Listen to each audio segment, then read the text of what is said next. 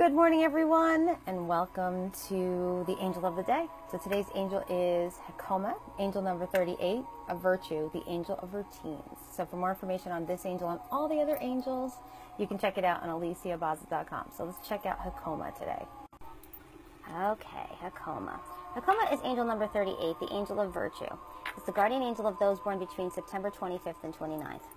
So this is all about that person. God comes first in your life, and you live to serve him.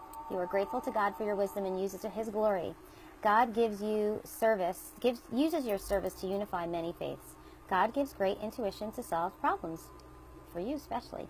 You love freedom. You passionately fight for those who are not allowed to be free from prejudice, jealousy, and deception. You are an excellent planner.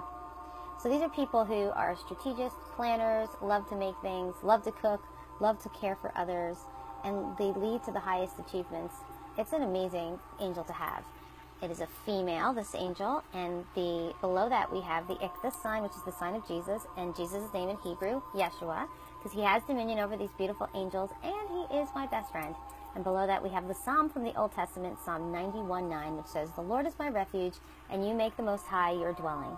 This is the phonetic spelling, Haamiah. Haamiah rules over the following days: February 8th, April 26th, July 7th, September 17th, November 28th. Meditate on the name of God, Haamiah, to realize that when you receive with gratitude, you are also sharing. This is the circle of life. God tasks Haamiah to help you find beauty in your routine, preparation, and organization. Haamiah helps relieve anxiety and stress. She inspires joy, peace, and success in your life. Haamiah sp- sparks creativity. She guides your love, of creating things, especially in the kitchen. You love to take care of others. She shows you how to adore and respect God. Haamiah means the hope of all which ends on earth. And that is the angel for the day today. So for more information on this